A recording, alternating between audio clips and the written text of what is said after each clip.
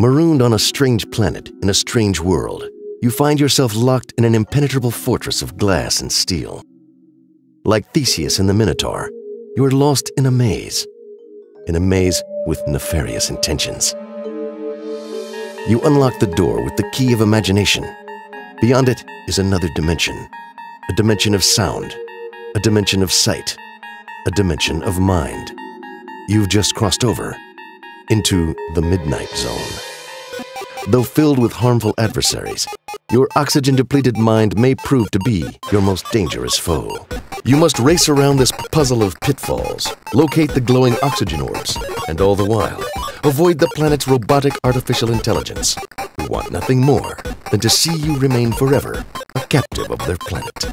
Use your speed, your determination, and your AI strategies to outwit, outrun, and outlive your opponents.